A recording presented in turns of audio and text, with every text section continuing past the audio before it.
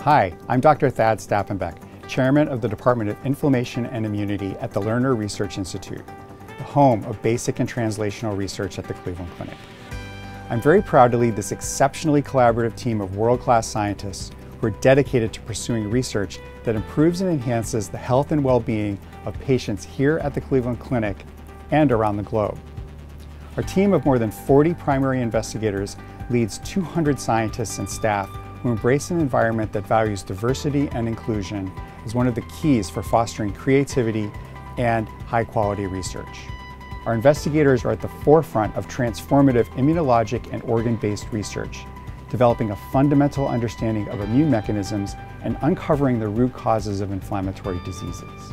Our strength lies in harnessing knowledge from basic scientific research and translating it into transformative new therapies. We currently have 50 active human studies in progress focused on developing therapies for cancer, transplantation, immune pathology, and inflammatory disease. Our departmental expertise and infrastructure is complemented by a balanced portfolio of resources that include the NIH, as well as sponsored corporate and foundation funding. This perfect storm of expertise, dedication to high quality translational science, and funding routinely generate intellectual property that translates into the development of exciting new devices, procedures, diagnostics, drug therapies, patents, and the formation of new companies. This is our strong suit and what makes us unique.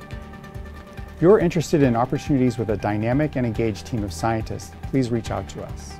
We are currently seeking new members of the department. We offer startup funding, access to world-class facilities and core service technologies, robust mentoring programs, and opportunities for teaching. Please visit our careers page for further information. I hope you'll continue to explore the Department of Inflammation and Immunity and reach out to our scientists to learn more about how we are building the foundations for treating human disease. Thank you.